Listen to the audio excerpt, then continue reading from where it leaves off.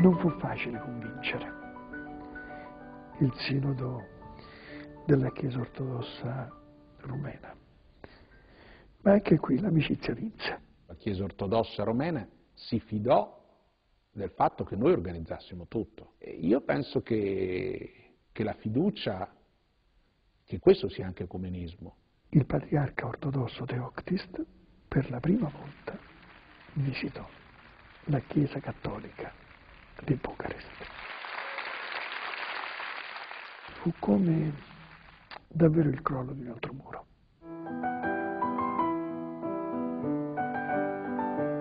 Sant'Egidio ha aiutato alla preparazione di questo pellegrinaggio, di questa visita di Giovanni Paolo II a Bucarest.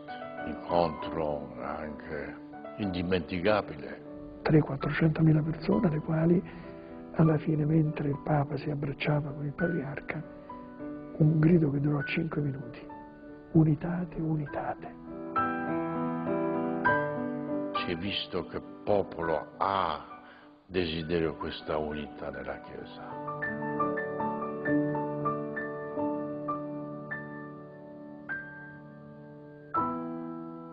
Di Sant'Egidio ha imparato a usare gli strumenti della politica come ho imparato a usare quelli della diplomazia.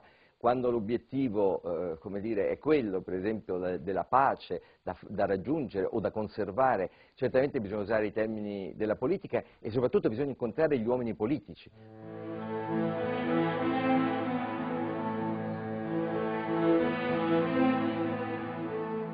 Quella è stata una visita richiesta dagli americani, eh, perché dire di no?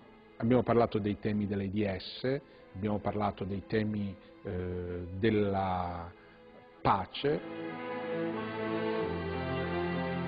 Eh, qualcuno ha detto sì ma che fa, va da Prodi e va dal Papa e va anche a Sant'Egidio, lo mette sullo stesso piano, poi siamo ripiombati nell'anonimato.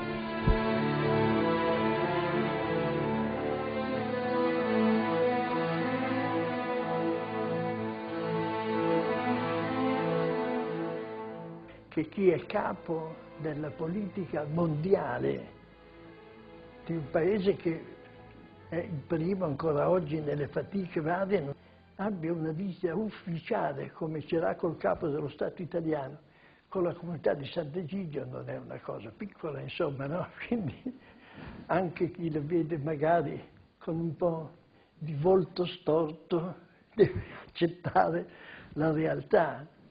Io non lo so se noi facciamo politica, io da buon ex sessantottino sono convinto che tutto è politica.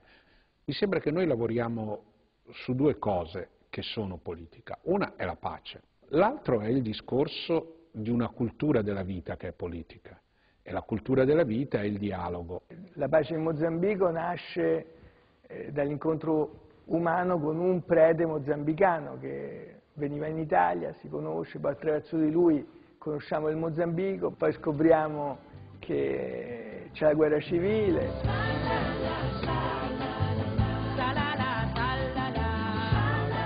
E quindi ci mettiamo a cercare le strade per far dialogare la guerriglia e il governo, perché i vari governi non ci riuscivano più. E così pian piano noi creiamo e costruiamo la pace in Mozambico. 26 mesi di negoziato di pace a Sant'Egidio, inventiamo il linguaggio del negoziato di pace. Cercammo di utilizzare la debolezza della comunità, che non era certamente una grande organizzazione, una istituzione che si affermava di, di per sé, ma che faceva proprio di questa debolezza l'occasione di mettere assieme i fratelli nemici.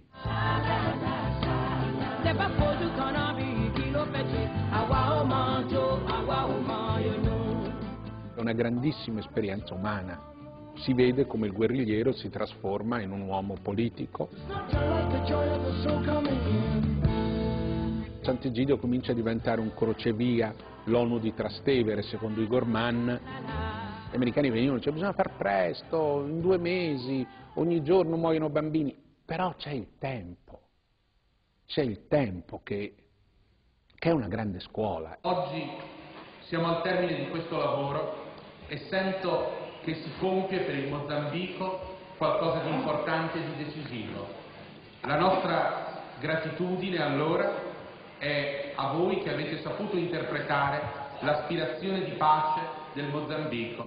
L'idea era che fosse possibile eh, tessere questi fili nell'amicizia, cioè eh, lavorare con lo stile di Sant'Egidio questo mix di amicizia e diplomazia. Poi dall'altra c'è stato un incontro col presidente mozambicano Samora Machel e il Papa. Questo è anche una cosa interessante perché Samora Machel non voleva venire al Papa perché diceva io non mi metterò mai in ginocchio davanti al Papa perché avevano detto si mette in ginocchio. Il giudizio del Papa era molto interessante perché io pensavo che questo leader marxista, beh insomma il Papa e lui disse, non è un marxista, è un nazionalista. E poi aggiunse, io di comunisti me ne intendo.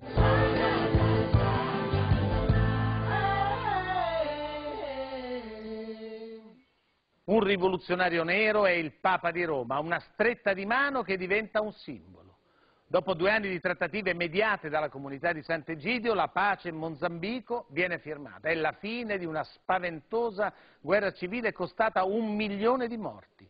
Un miracolo voluto con la forza della fede e la caparbietà dell'amore, dall'Italia all'Africa.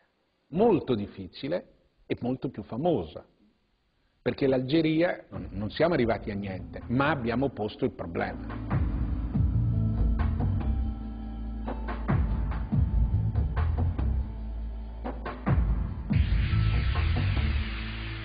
fu un, un impatto mediatico fortissimo, soprattutto perché da qui venne fuori una piattaforma di Roma dove si affermava l'esigenza di una transizione alla democrazia.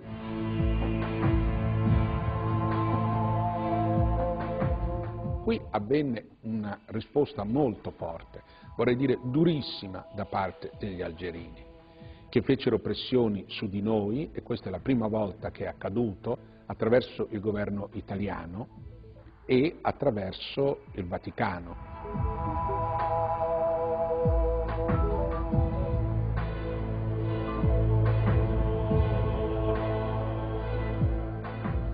Si aveva a che fare con un estremismo fondamentalista eh, era, al quale era assai difficile mettere un lazzo al collo per, eh, per imbrigliarlo. Il tentativo fallì e lì cominciarono appunto le, le critiche. Ci fu anche la voce che noi eravamo gli emissari del, eh, degli Stati Uniti che volevano sottrarre l'Algeria alla Francia. In realtà eh, noi fummo piuttosto appoggiati dai francesi, ma dietro non c'era nessuno. Infatti cosa c'è dietro Sant'Egidio?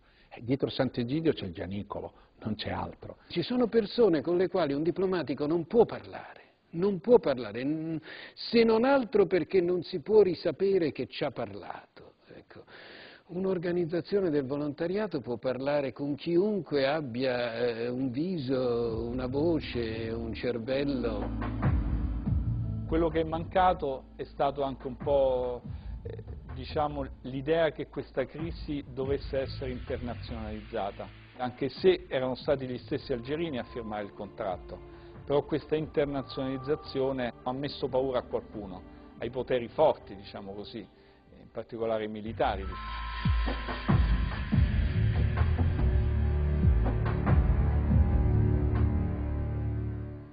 È vero che all'interno del Vaticano, a volte, qualcuno ha visto in loro una sorta di concorrenza alla diplomazia. Ma non è mai stato così. C'è un mito, no? Sant'Egidio è il braccio secolare del Vaticano. Quello che il Vaticano non riesce a fare in politica internazionale lo fa Sant'Egidio. Beh, io qui dico no.